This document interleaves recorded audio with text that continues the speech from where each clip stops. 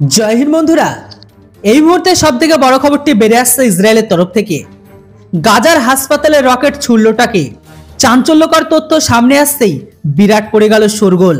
গাজার হাসপাতালে সাধারণ মানুষের উপর রকেট হামলার ঘটনার তীব্র নিন্দা জানিয়েছিল বিশ্বের একাধিক দেশ। এই বিষয়ে জোরালো মন্তব্য করেছে প্রধানমন্ত্রী মোদীও। তিনিও হামলার তীব্র নিন্দা করে দোষীদের বিরুদ্ধে অবিলম্বে ব্যবস্থা গ্রহণের দাবিও জানিয়েছে। ইসরায়েল ডিফেন্স ফোর্সেস আইডিএফ এর মুখপাত্র রিয়ার অ্যাডমিরাল ড্যানিয়েল হাগারি দাবি করেছে যে ইসরায়েলের সামরিক বাহিনী গাজা উপত্যকার আল আহুলি ব্যাপিস্ট হাসপাতালে হামলা করেনি। হাসপাতালে যে রকেটটি পড়েছিল সেটি ইসলামিক জিহাদি সন্ত্রাসীদের সংগঠনের তরফে ছোড়া মিসফায়ার রকেট। উৎক্ষেপণের সময় লক্ষ্যভ্রষ্ট হওয়ার কারণে হাসপাতালে গিয়ে পড়ে রকেটগুলি। এই দাবি ঘিরে রীতিমতো শোরগোল পড়ে গিয়েছে। আইডিএফ এর তরফে এটিকে ইসলামিক জিহাদি সন্ত্রাসী সংগঠনের মিসফায়ার বলে উল্লেখ করা হয়। মিডিয়া রিপোর্ট অনুযায়ী ইসরায়েলি সামরিক বাহিনী মঙ্গলবার বলেছে, অপারেশনাল এমনকি গোয়েন্দা ব্যবস্থা অতিরিক্ত পর্যালোচনার পর এটা পরিষ্কার যে আইডিএফ গাজার হাসপাতালে হামলা একদমই করেনি, যার প্রমাণ তারা দেখিয়ে দিয়েছে। জঙ্গি সন্ত্রাসীরা গাজা হাসপাতালের কাছে থেকে রকেট ছুড়েছিল।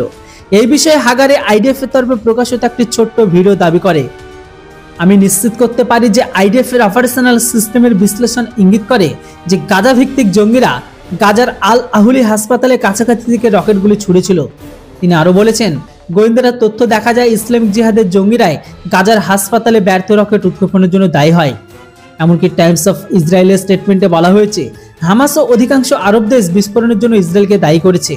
হামাস জঙ্গি গোষ্ঠী বলেছে যে এই হামলায় পাঁচশো জন সাধারণ মানুষের মৃত্যু হয়েছে। যদিও গাজায় হামাস পরিচালিত স্বাস্থ্য মন্ত্রক জানিয়ে দিয়েছে যে এখনও পর্যন্ত পাঁচশো প্লাসেরও বেশি মানুষ মারা গেছে এই হামলায়। বন্ধুরা, আশা করি বুঝতে পেরেছেন জঙ্গি হামাস প্রথমে তাদের মিসফায়ার হওয়া রকেটের দায় না নিয়ে তারা সরাসরি ইসরায়েলের উপর চাপিয়ে দিয়েছিল। কিন্তু যখনই ইসরায়েল এর ফুল প্রুফ দেখিয়ে দিয়েছে, তখন তাদের পিছনে আগুন জ্বলতে শুরু করে। বেসিক্যালি যখন ইসরায়েল হামলা করে, তাদের হামলা এতটা নিখুঁত হয় যে তার আশেপাশের বিল্ডিং পর্যন্ত ক্ষতি হয় না, যেটাতে টার্গেট করে সেটাই হয়। তাছাড়া যে জায়গায় অ্যাটাক হয়, সেখানে অনেক বড় একটি গর্ত পর্যন্ত তৈরি হয়। কিন্তু বেসিক্যালি আপনারা যদি এই ভিডিও ক্লিপগুলো দেখেন বা ওই ছবিগুলো যদি দেখেন, তাহলে দেখতে পাবেন তেমন কোনো গাড্ডা বা তেমন কোনো গভীরতা হয়নি। জাস্ট একটা রকেট পড়লে যেভাবে ধ্বংস হয় ওই রকমভাবেই হয়েছে। আশা করি বুঝতে পারছেন, হামাস নিজেদের দোষটা ইসরায়েলের ঘাড়ে চাপাতে চাইছিল। পুরো বিষয়টার উপর আপনাদের কি মতামত? হামাস আর ইসরায়েলের লেটেস্ট আপডেট পাওয়ার জন্য অবশ্যই চ্যানেলটিকে সাবস্ক্রাইব করে রাখুন।